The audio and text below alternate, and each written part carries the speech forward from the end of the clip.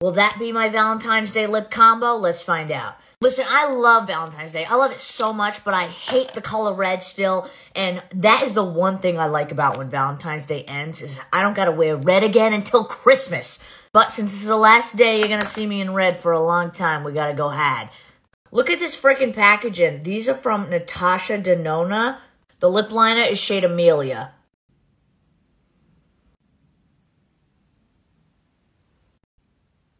So far, so good.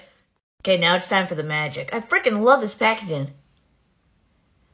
Oh, she's pigmented.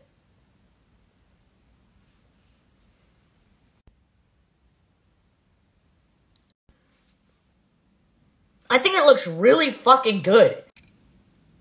I feel like of all the red lipsticks I've tried, I feel like this one looks the best.